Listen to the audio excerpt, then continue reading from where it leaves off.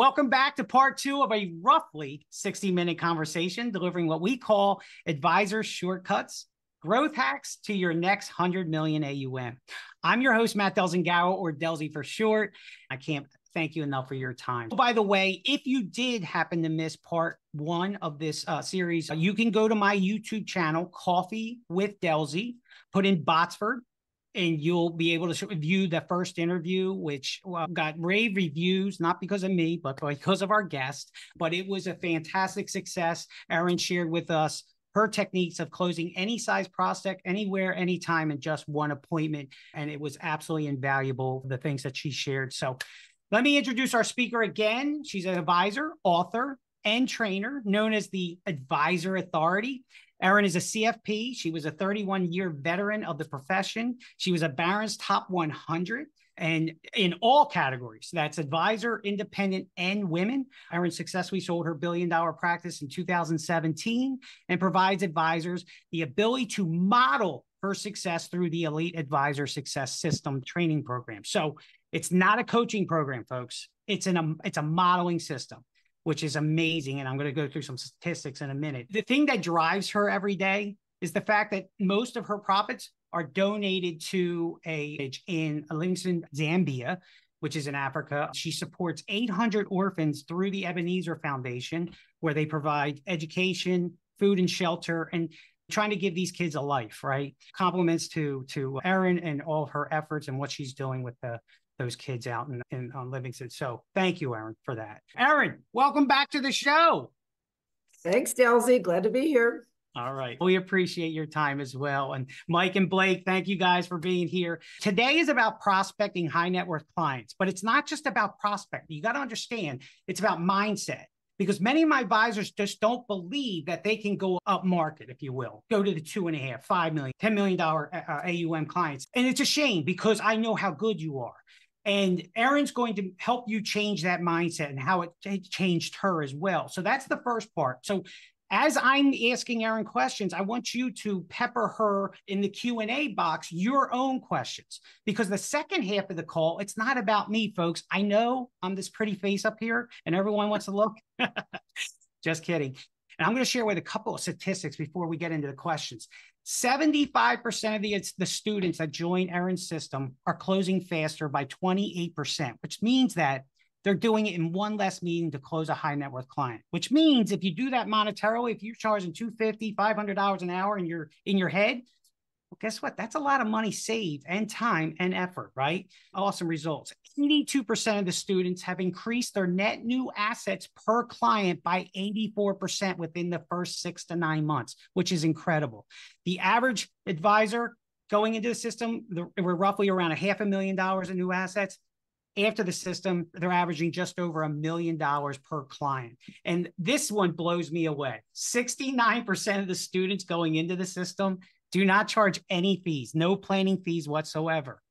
After coming out of the system, 83% are now charging fees. If that's not a change in mindset, I don't know what is, folks. So that's called results. And Erin has, has proven it time and time again over the last seven years with 1,400 advisors. And so that's why it's so important. This is why we hired Erin to share some of these insights with you guys. So, with that, Erin, we're going to talk about mindset.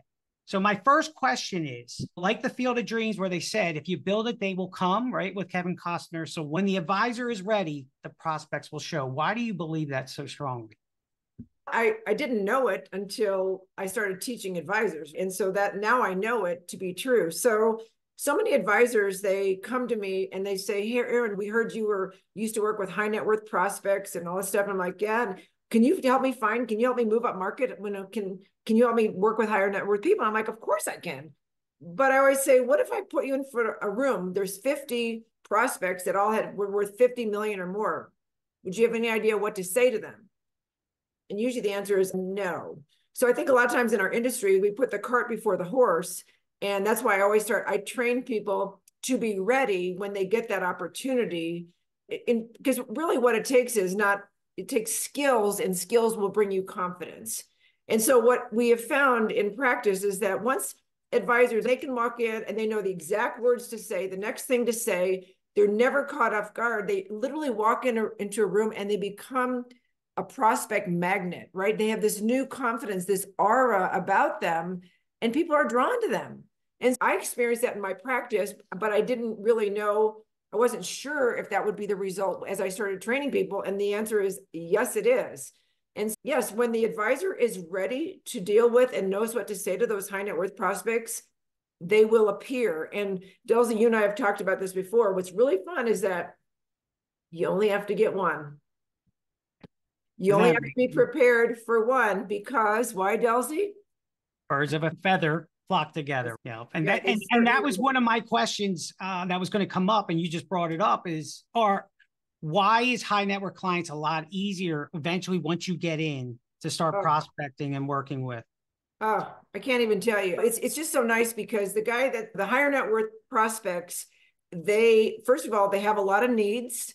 They care. They typically care about a lot of people. They're so much easier to deal with. So a 20% decline in the markets. okay, whatever. It's the lower end clients that are always, oh my gosh, they're going to run out of money. And they're, of course, that's what you do to protect them to not run out of money, put them in annuities but they're always limited. They've, they've got these, and they usually think a little bit smaller. And so it's just fun to deal with higher net worth prospects and they care about their mom, their dad, their brothers or sisters. We do long-term care on everybody. You, they buy life insurance on their adult children because their adult children are working really hard but can't afford life insurance. You know, I mean, they just have a lot of needs. And so just one relationship can feed can feed you for a long time. So you don't yeah. need a lot of them either. And it's though, Delzi, I will say this it's a difference between Walmart and Neiman Marcus. Both Walmart and Neiman Marcus, those businesses make money, but it's a lot more fun to go and drink champagne in Neiman Marcus than it is to fight the crowds in Walmart. I'm just saying. No, it's a great analogy. And I love this part of it, the mindset of the advisor, because this was your turning point, if you will, with Paul. So I because I, I, think that was it. So if you could share that that one day when you met Paul and yeah. you were like, wait, I can do. Right. Yeah. Share that real quick. Yeah, real quick. For those of you who were not on the last call, I was actually a struggling advisor for the first 10 years, badly struggling, taking a bunch of clients I shouldn't have taken, but I didn't know any different. And so I decided to quit. And I went to my branch manager, said, I'm done. I'm just gonna go get a job. It's a lot, this way that would be a lot easier. He goes, Oh, Erin, don't do that. Go get some business coaching. So I enrolled in a coaching program and I thought, okay, I'm going to give this one more shot. I'm going to give it everything I've got. And so three years later, our coach says, Hey, everybody, you've been here now 12 times, stand up, find somebody in class and share your results with them. So I stood up, I found this random guy standing there. I said, Hey, do you want to do the exercise together? He goes, Sure. His name happened to be Paul. So I was really excited. I went first. I said, Hey, I'm Erin Botsford. I'm from Dallas, Texas. I was doing around three years ago, I was doing around $300,000 in production. Now I'm on target to do between 400, 450. And Delzi, I'm thinking to myself, like, look at me. I was so excited. And then it was Paul's turn. He's in the financial services business as well. He said, yeah, three years ago, I was doing 300,000 as well. And he goes, this year I'm on target to do 3 million in production. And he said, I don't meet with any of my existing clients anymore. All I do is I go out and find, I share the philosophy of my firm. I, I basically turn every client over to licensed members of my team and I take a lot of time off. And I was like, what did you just say? You, did you say you went to 300,000 to 3 million in three years? He goes, yep. And by the way, we were almost exactly the same age at the time. So I'm looking at him like, and you don't do all your client review meetings and you don't meet with, nope, I, I built a business. In fact, he I don't know if I told you this on the last one, to add insult to injury, he said, Oh, yeah, and by the way, my wife just won the Bill Phillips Body for Life contest. So I'm in the process of building a gym. So next year, I will own a financial services company and I will own a gym. And I was wow. like, Oh my God, of course, the bell rings, time to go back to our desks. And I was just, I was like stammering, stuttering. I, I couldn't believe it. And I said, Paul, can, could I just buy a few hours of your time and fortunately for me, he said, Yeah, why don't you come spend the day with me and my team? So as quickly as I could get back to Texas, I made my husband come with me because I just knew there was going to be this big cost getting success like that. And I wanted my husband to understand if we had to get a divorce, maybe that was worth it. We had to sell our firstborn child. Okay. But it wasn't like that at all. And just spending one day with somebody who was doing what I think about is Delzi always said, what was doing what I wanted to do. I didn't even know that was possible. But once I saw it was possible, I thought, he doesn't look any better looking at me. He doesn't seem any smarter than me. Why can't I do that? So sure enough, I came back three years later. I did 3 million, then 4 million, 5 million. The business just kept growing from there. And I ended up with two offices, one in Dallas, one in Atlanta. I had seven conference rooms consistently filled with clients of my firm, and I wasn't in any one of them. And what's really interesting, you always talk to me about mindset because you know I'm really big on that. Paul told me to go home and he gave me a list of goals to write and all stuff. And I wrote, I want to have two offices. I want to have seven conference rooms filled with clients of my firm. And now I realize, geez, was I thinking too small? I should have said I want 20 offices, 100 conference rooms, because what I've learned then over the last 20 years is that your brain actually has to stay consistent with itself. Your brain has to has to go find that, and, and it creates the, the the pathway to get there. So what I have found in training now, over a thousand advisors, 13 or 1400, gosh, we think small, yeah. really small. Yeah. It's and, a mindset thing, right? That's really what it comes down to. And it's amazing. So in my travels, I meet with my advisors and you could probably tell I lead with value, right? Practice management, try to get a, an idea of their practice. And are you in growth mode? Are you in maintain mode? And most of my advisors are still in growth mode. And I say, hey, tell me a little bit about your client acquisition strategy. And they look at me like I have two heads. Like, well, I get referrals. That's the number one way. Okay, great. Are you proactive or reactive? And most of them are reactive, right? So today what you and i are going to share is like what are some of your favorite prospecting methods or avenues? Because you in your trainings talk about you got to have multiple avenues. You can't just focus on one thing. And i always ask my advisors what are you doing to market or prospect? And they're like oh we send out a monthly newsletter. We have one kind appreciation a year. I might go to lunch with one or a referral a month and I'm just like, oh my gosh, if they were just to get under Erin and see what she's doing and why you always had a pipeline and multiple avenues doing that, why do advisors always lump prospecting and marketing into one category? What's the difference? Marketing can be outsourced. You can hire companies to do your newsletter and send out your emails and create your, your client appreciation events and put it together so you just show up. But prospecting and hunting has to be done by the advisor. It because it's we are a people business. It's a people a person business, and I don't believe that you can outsource that function. And think about this, Delzi.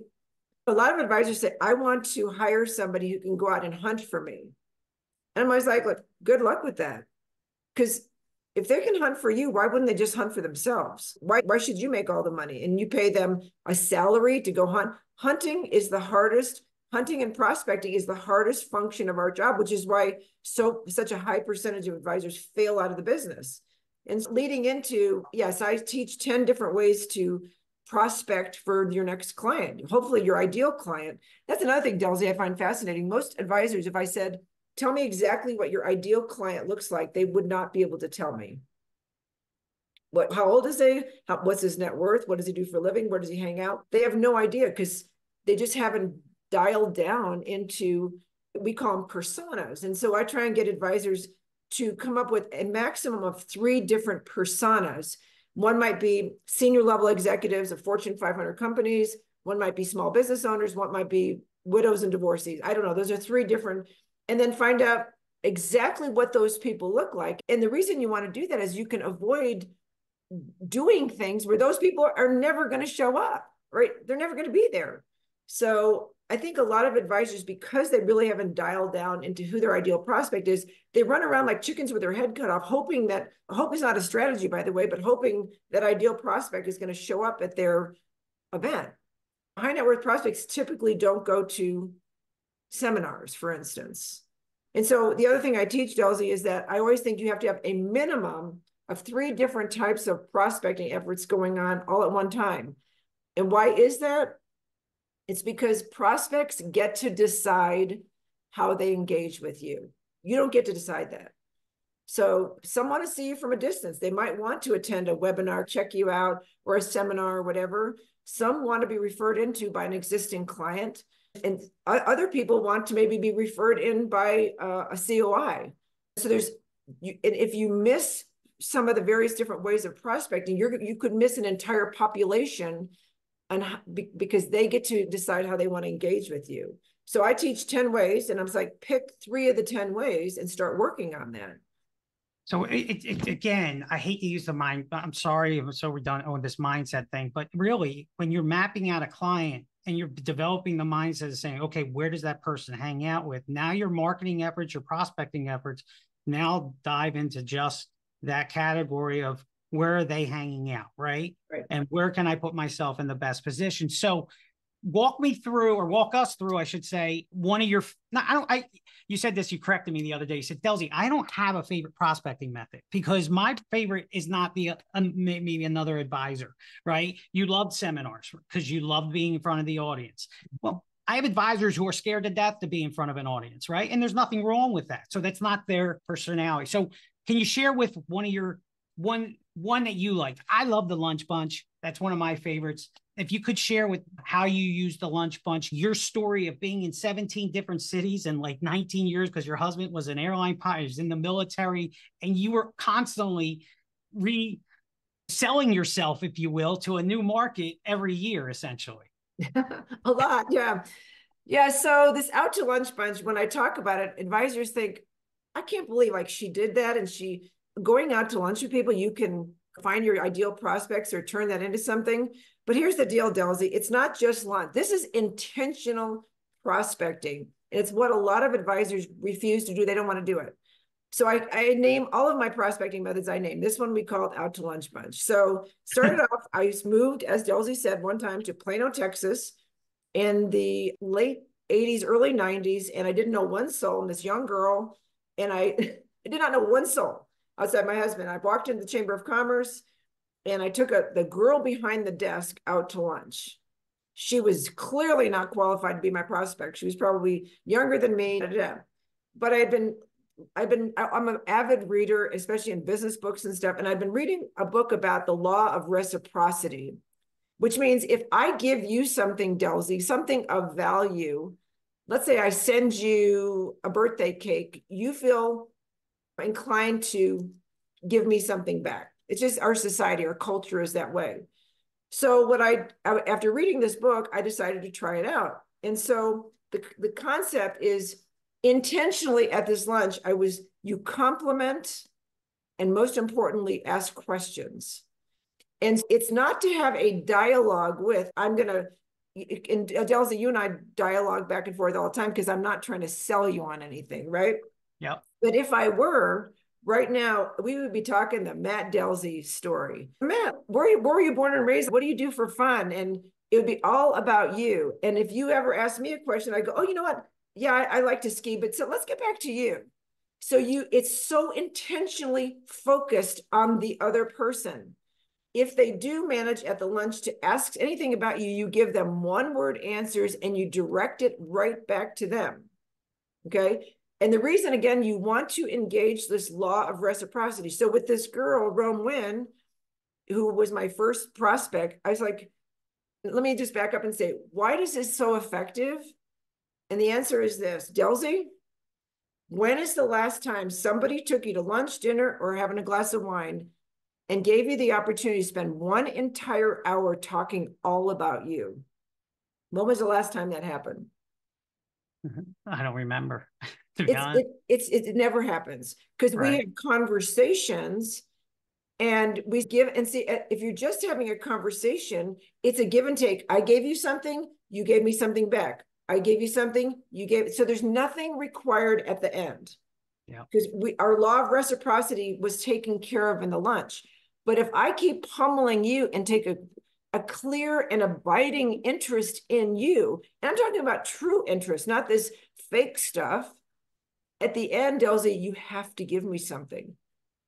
And guess what? I get to decide what it's going to be. Blake, if you can find the, uh, there's five, I've figured out there's five possible outcomes from these lunch bunch. Can you get to that slide? Okay. So the five possible outcomes, and I'll embellish a couple of them, is one, you get to, if they're qualified, the obviously, if you happen to go with somebody they happen to be qualified to be your client, ask for the appointment. And the thing about it is, Delzi, most of my career, I was, I always had lunch with one person. But you also know that I never talk about my business or give my approach talk to one person if there are two people that will be affected by the planning. So I, I, belong to the Dallas Chamber of Commerce. I belong to Women's Executive Women's Roundtable, International Women's uh, Forum. So I would ask women or men, I would ask them out to lunch. I was never going to talk about my business because I need both of those people in front of me if I'm going to talk about my business and sell them.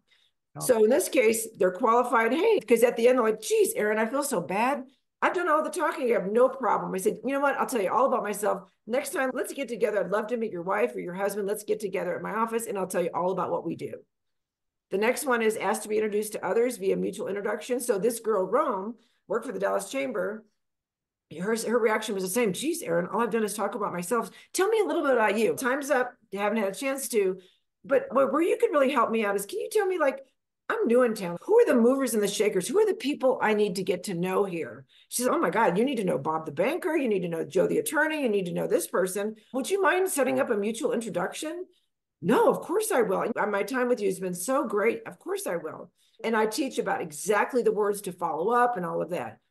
Maybe they are in a club organization, a sorority, a fraternity, and they you find out that I'm in this fraternity. Yeah, we have monthly speakers hey, would you introduce me to the person who books your speakers? I'd love to talk to your group.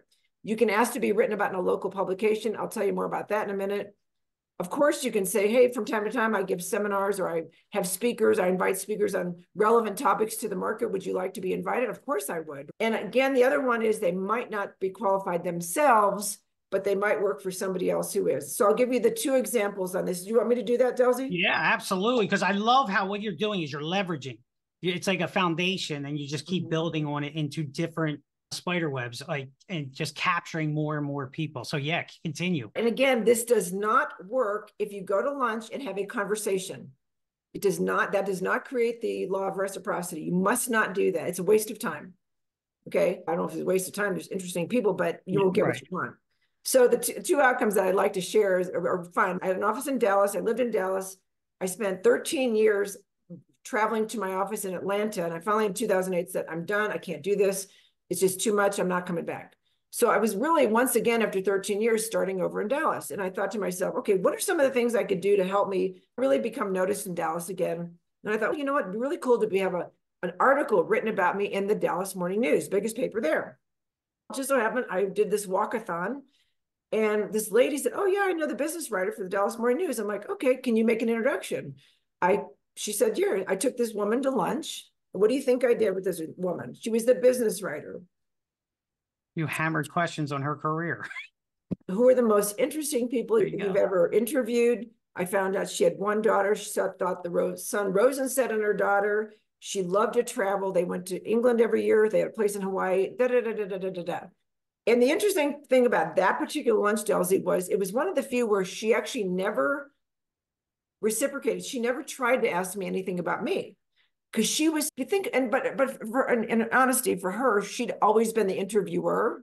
How fun for her to be the one talking about themselves right? Now i didn't realize that at the time but the funniest part about the whole lunch is at the end she said erin i've enjoyed our lunch so much. Because you're probably one of the most interesting people i've ever met. Would you mind would you consider if i wrote a story about you? Sure that would be great. She did not know one thing about me because she didn't ask. But that's how powerful it was. The second one I'll talk about was the other thing was they might not be qualified, but they know somebody is.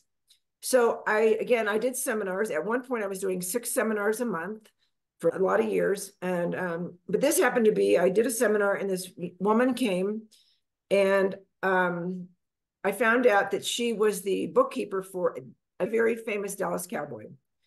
So famous that everybody here would know anyway, so I asked her to lunch. And I knew she probably thought the only reason I was asking her to lunch was for an introduction to this person.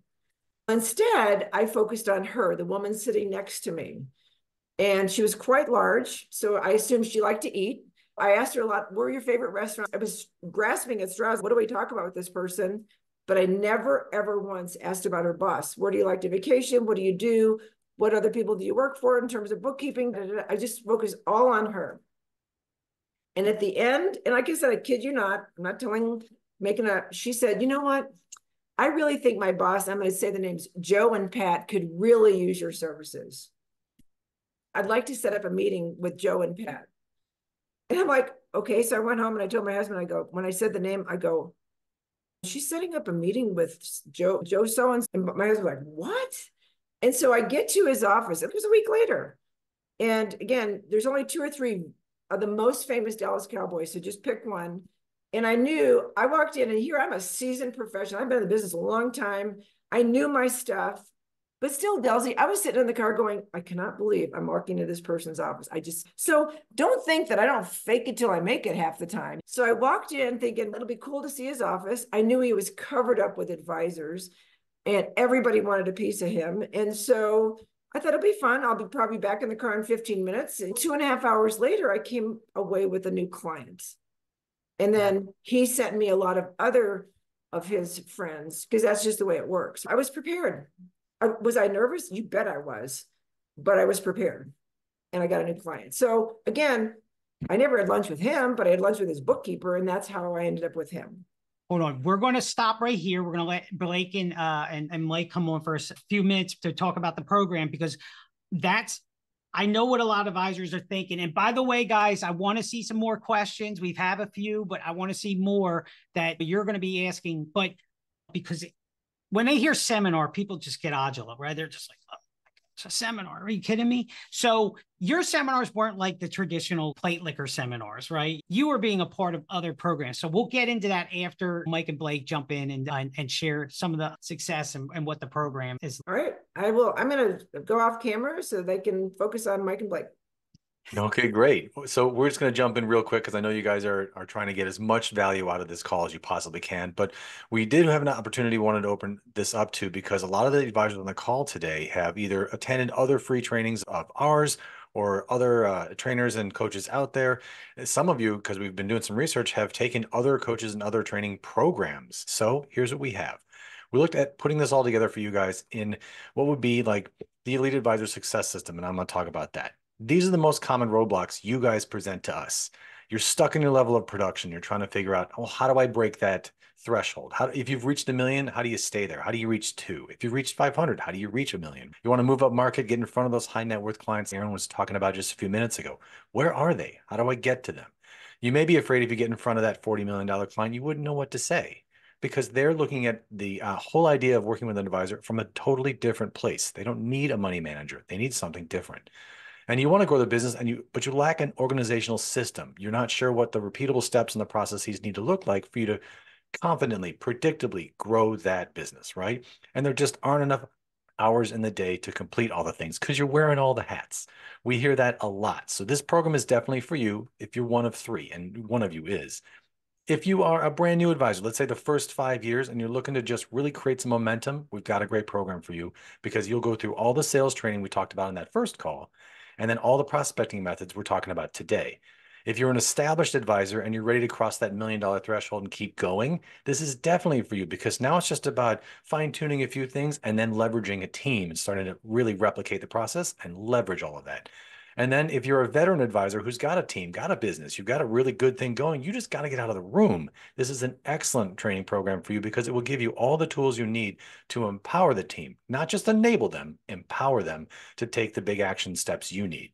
So Mike, this exclusive opportunity, what is this all about? Yeah, thanks. Thanks, Mike. So working with Delzi and his group, guys, the reason Delzi invited you here, of course, is to hear from Erin and learn some of her what we'll call best practices in the business. And now she's teaching you her entire playbook about that. That's what the training program really is. It's called the Elite Advisor Success System. It really is 30 years of Erin Botsford condensed down into an online training platform that you can cover in a six month period of time. So, Blake, if you want to move forward, we'll talk a little bit about what that program is. But you'll basically follow everything and model everything she did in the business like Blake just said, from bringing in the prospect, how do you get in front of them to how did you close them? How did you build a team around you? How did you do this so you could take time off from your business and not, the wheels not fall off your business. we were talking to an advisor yesterday. They're going to go to Mexico, he and his wife, but they're going to take their laptops for a week because they can't let it go. But how do you learn to build a self-sustaining business? That's what Erin will teach you in this training program. But here's the thing you want to think about. We just did our stats from last year. How did our students do using Erin's program in their business? And I'm going to give you a little what I'll call ROI exercise. Let's say you're a producer that produces around $300,000 of production. Now you're going to find out later our average student is about three times that, at least 2.5 times that average production. But let's say Erin's program only helped you gain an additional 10% of growth this year. That would be an additional $30,000 to your bottom line. Wouldn't that be neat if she helped you grow just 10% more this year? Really good news, guys. Our stats are well above that. In fact, if you're looking to move up market and take on bigger ticket clients, 84% increase in our average new client AUM last year. Guys, we if your typical client was, I think our average was around $575,000 client, we're now getting over million dollar AUM ticket clients. So again, if you said, I want to move up market, I want to have million dollar clients, that's exactly what the program did. And we had last year, again, an 84% increase in the AUM ticket size. And not only that, if you are an advisor that's been thinking about how do I add other revenue streams to my portfolio? Well, 83% are now charging financial planning fees, and Erin's program teaches you how to do that, even if you've never charged before. And in fact, vast majority, nearly 70% of advisors come to us without ever charging a fee. And we turn that completely around for you and teach you how to put produce that. But without that, you can again right now. Some of you are fast starters and you're saying, geez, how do I get more information on the program? We have a website built for you. It's erinbotsford.com slash brighthouse. So we have a special program for you. But what we also want to do is bring you special pricing because being part of Matt's group here, he's bringing this to you, and he and because of our relationship with him, basically our program could be around a $30,000 training program. In fact, when you add up all the elements in the portfolio, I'm going to show you what that is in a second. We should easily be charging $30,000 for the training. But on the website, our whole training platform is a $10,000 investment. So if you go there right now, that's what you'll see on the website. But if you go to our special webpage, we've actually, because of your association here today on the webinar, and the training, we are actually going to lower that down to $39.99 or 60% off by being part of this Delzi call today. So again, we are lowering the price because Erin does not want price to be the reason you don't invest back in your education, invest in your business. So again, you're going to go to this website. This is a special page on the website. So don't go to erinbotsford.com. Make sure you put slash Bright House. And I'm going to show you what that page looks like in just a second. So that's really, again, the pricing it's an online platform. I'm going to show you what that is. In fact, why don't I do that right now, Blake, or do you have some more you want to share there? Okay. No, you want to go ahead and share what that looks Can like so they know how to sign oh, in? I don't have sharing. sorry. Can I sorry about that? Can I share a little bit real quick about what it looks like and how those enroll? And then we're again, we're gonna those who have questions, guys, start putting those in the Q&A box. What type of questions do you have for Erin? What can she help you with today? So you can get a glimpse of what it's like to work with Erin over the next six months. So again, our training platform is an online portal. You'll log in and go through coursework and then after the coursework, it, again, it's all divided into pieces. Every week, you're going to go through something new. Again, you're going to model Erin's business over the next six months and be invited to live monthly group coaching calls with Erin and the other mastermind students. So think about it. Can you imagine then getting your questions answered or hurdles mastered? Like Blake said, we had these frustrations or these five or six different things that advisors typically have. We help you bust through those in a very short amount of time. That's why our advisors are having such crazy results because you're basically modeling instead of what we call traditional coaching. I was going to show you real quick. Can I still do that? Yep. Oh, yeah, there we go. Yep. Okay, real quick, guys, I'm going to show you what it looks like as a student. This is the student online portal. And what you'll do is you'll log in 24 7. This could be from any time of day or night you want to log in. It's an online protect, password protected portal. Uh, and basically, you can go through the material on any device, again, anytime. Each one of these is a series of information and coursework as as um, Delzi was saying, not only did Erin help you in the in the salesmanship course, the one we did last time, which was secret sauce, we're now talking about prospecting and marketing. There's a whole course on that. We have those monthly calls that you'll be recording. We also have courses for your assistant, building your team, and of course that mindset of achievement that we started talking about today. How do how can Erin help duplicate that for you in your business? So basically, that's what the online course looks like. I can delve in deeper in just a little bit, but I do want to show you the special web page we built again erinbotsford.com slash brighthouse. And what you'll see if you scroll down, you'll be able to also do a couple things. uh, on this page. One is you'll be able to download Erin's book. She wants to go ahead and give you a copy of her digital book, Seven Figure Firm. You can do that here. All right.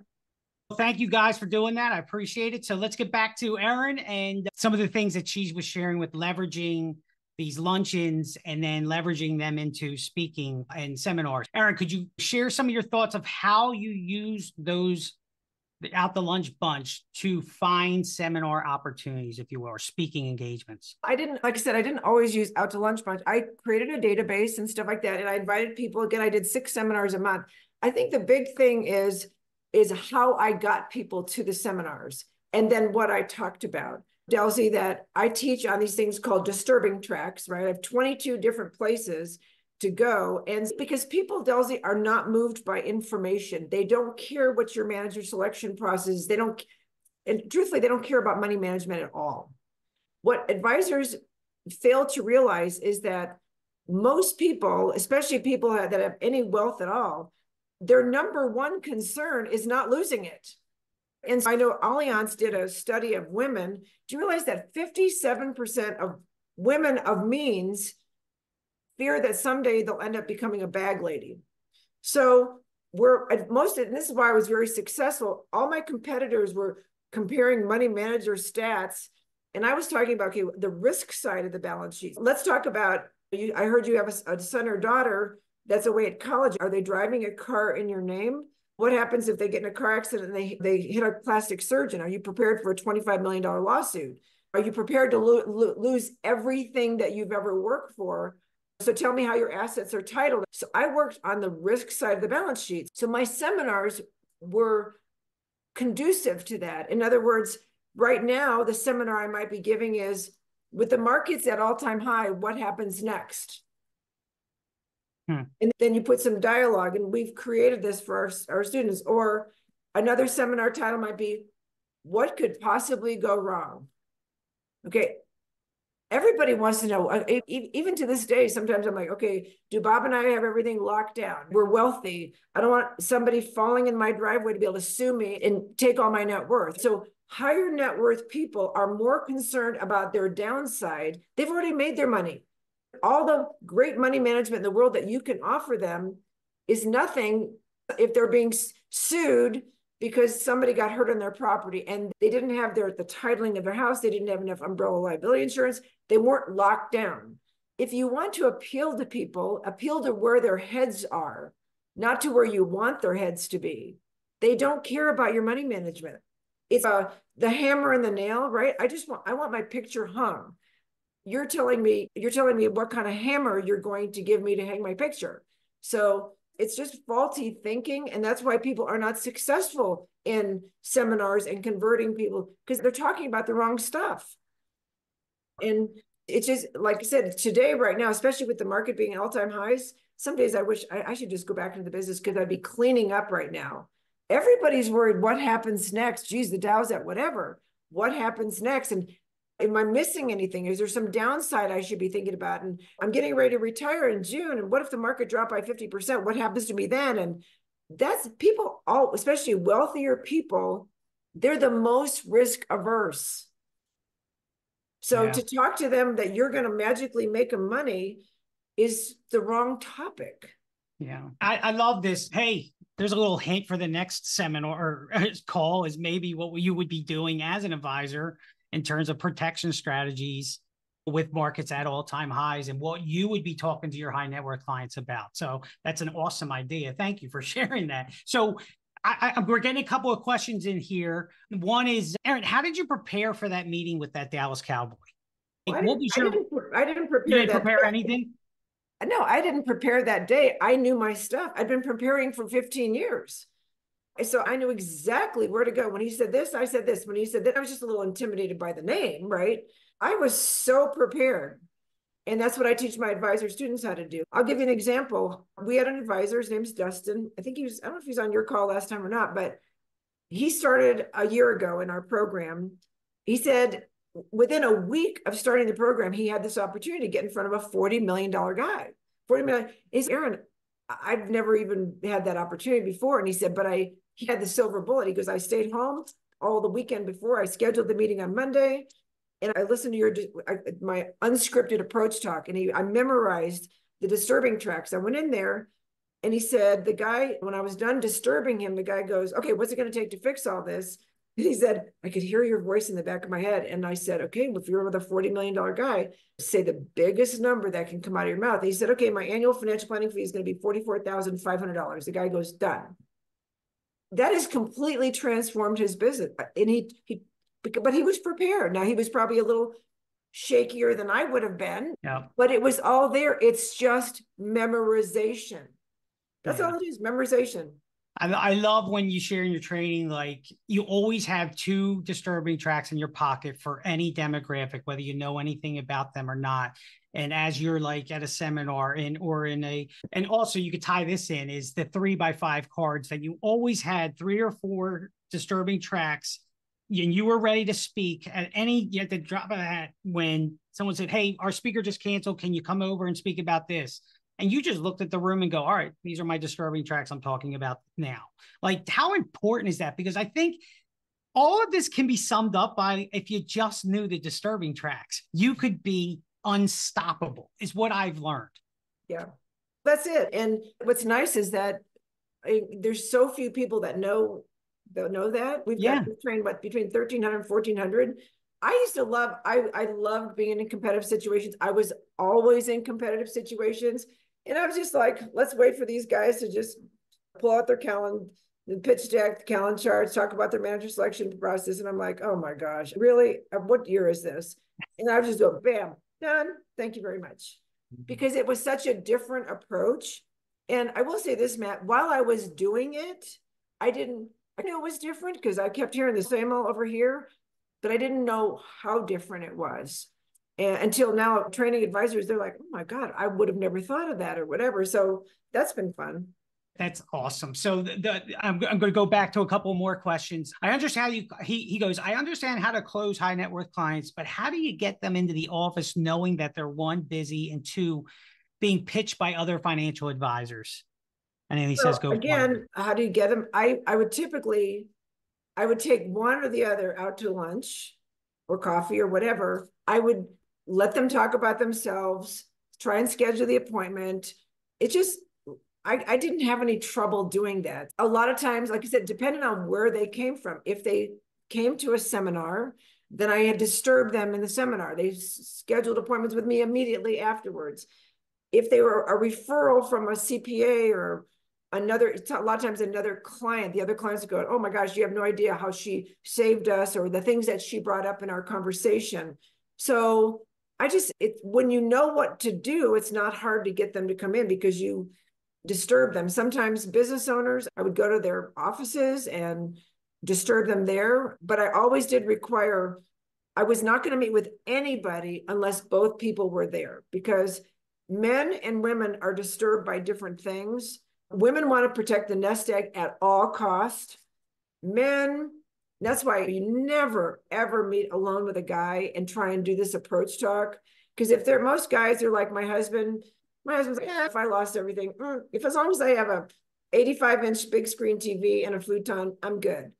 A woman will never feel that way. So people, if you don't remember anything about this today, it is the female, if it is the women who are your potential prospects, they will either hire you or not hire you. They they are the ultimate decision makers.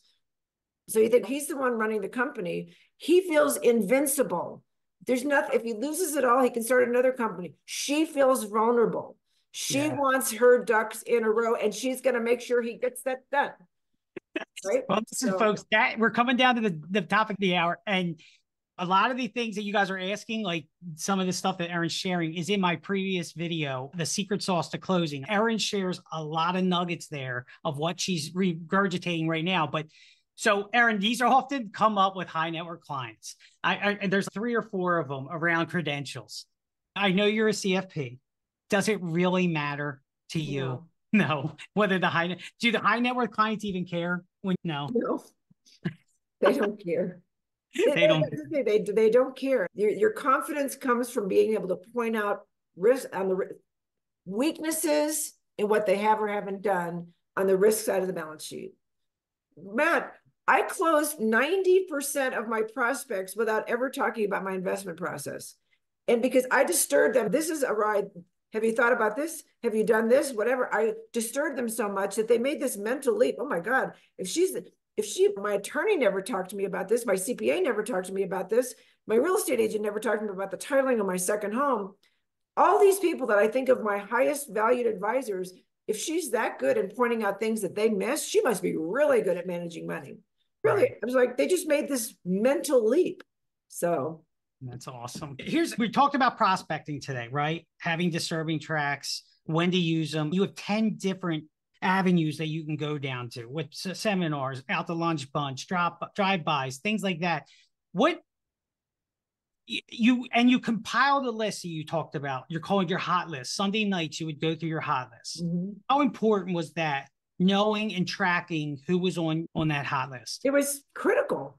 I mean, I do it today, Matt. I called Matt this week. Are we going to do another webinar? You have to know. I always had 20 hot. I had lots of not hot, but I would f- stay really focused on my hot prospects. Maybe that was figuring out, okay, that woman that was in the business writer of the Dallas Morning News. By the way, after that article came out, my business went boom.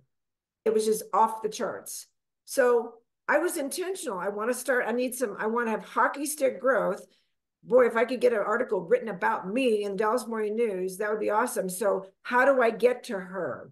So, she was a hot prospect. It didn't happen overnight, but I wonder who knows her. What does she belong to?